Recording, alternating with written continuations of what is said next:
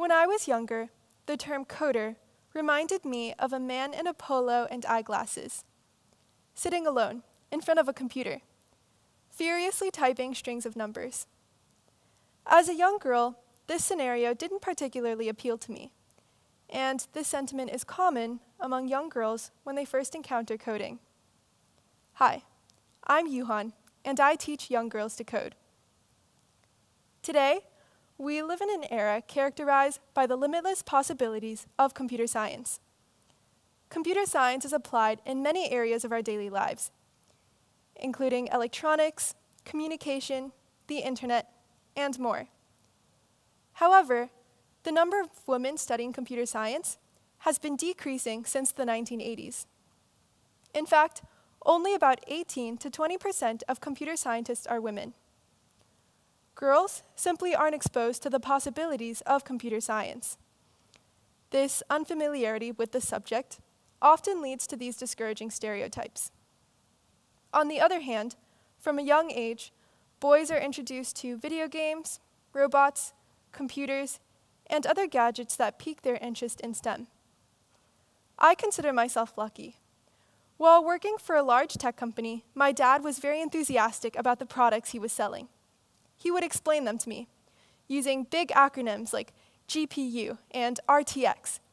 So I quickly learned that computer science played a major role in many areas that I was interested in, including animation and design. So despite my preconceived notions about the subject, I willingly downloaded coding apps, enrolled myself in classes, and jumped at opportunities to satiate my curiosity and learn more about the field. But what about girls who don't have this encouragement? How do we inspire girls to become interested in an innovative field when they would rather do something else?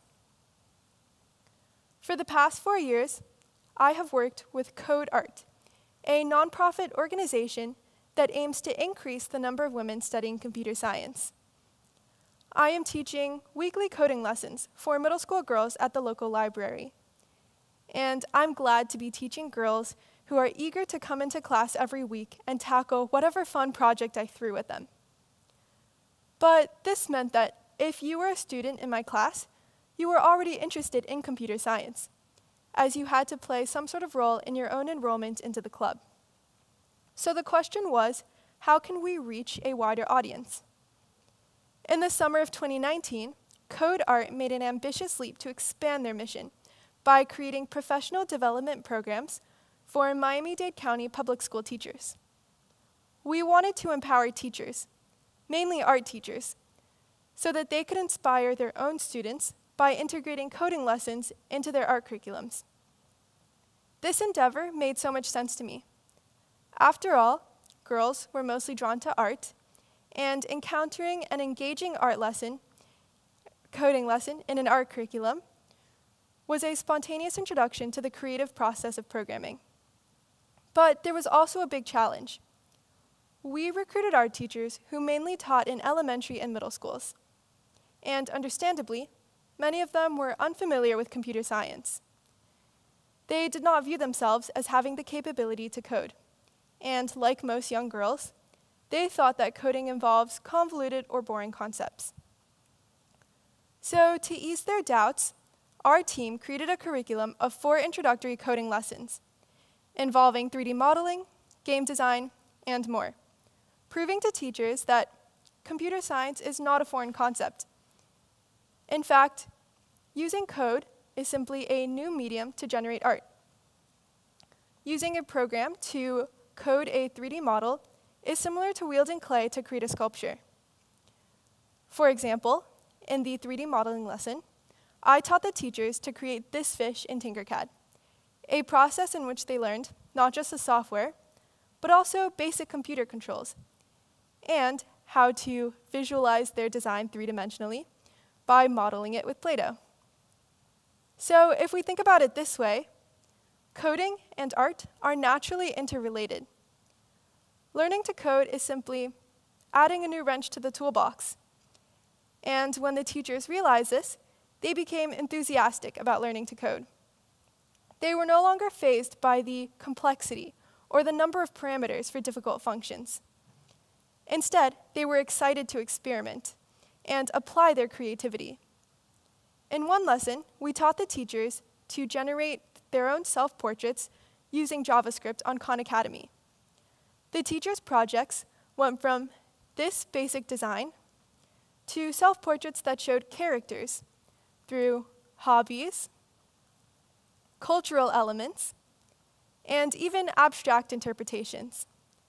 This is the barrier we learn to break for every teacher in the room and every student that they will go on to teach. Trying something new seems daunting until you try it and approach it from your own perspective while connecting it to something that you're already familiar with. In 2019, over 60 art teachers attended the professional development program. This past summer, it was conducted virtually. And to date, we estimate that this initiative has reached about 2,000 girls in Miami-Dade County. Here's an image of self-portraits that were generated by students in art class. Now, I don't expect everyone to learn JavaScript or take up 3D modeling, but it's important to realize that in order to break barriers in the real world, like overcoming the gender gap in STEM, one must first learn to overcome doubts within their own mind. Blurring mental barriers, like stereotypical assumptions in STEM, allows prospective coders, especially women, to fully explore the potential of computer science, especially its application in other fields, like the arts. Such challenges are opportunities to build onto existing knowledge while merging it with something new. Thank you.